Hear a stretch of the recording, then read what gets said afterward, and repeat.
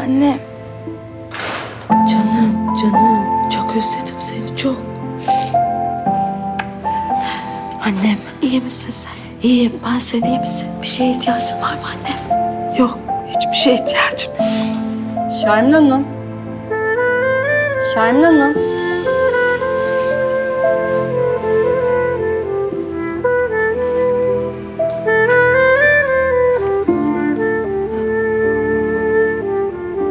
Dava ertelendi ama sonuç değişmemiş. Avukat öyle söylüyor. Çıkacaksın.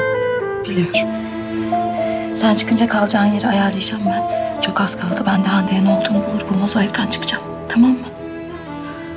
Biri gerçekten o kıza bir şey yapmış olabilir.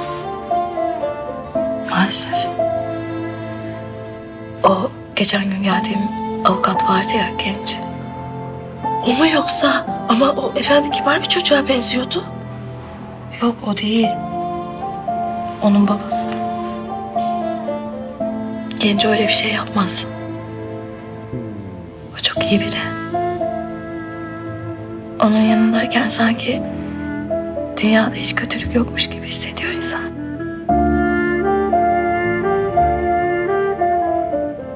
Sen bana baksana. Ne oluyor orada? Ne oluyor? Ondan bahsederken gözlerin içi parlıyor. O ne demek? Sence ne demek? Anne. Anne, anne yok öyle bir şey. Anne yok öyle bir şey. Sen yok öyle bir şey diyorsun ama... Kızaran yanakları hiç öyle demiyor. Güzel kızım benim. Ben her gün Rabbime kızımın karşısına doğru dürüst insanlar çıkarsın diye dua ettim. Demek ki dualarım kabul olmuş. Biliyor musun? İnsanın dilinin söyleyemediğini kalp söylermiş. Onun sesini dinlemekten hiçbir zaman vazgeçme. Olur mu? Canım. Annem. Annem.